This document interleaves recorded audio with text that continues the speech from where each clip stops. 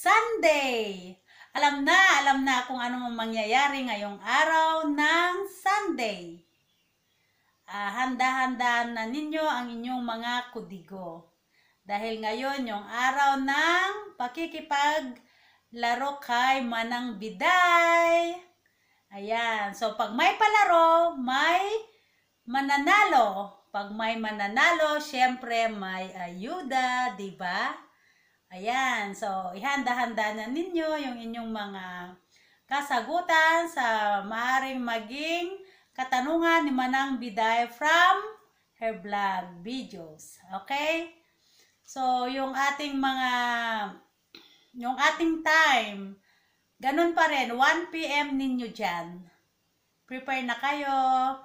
Mahaba-haba pa naman yung oras ninyo, di ba?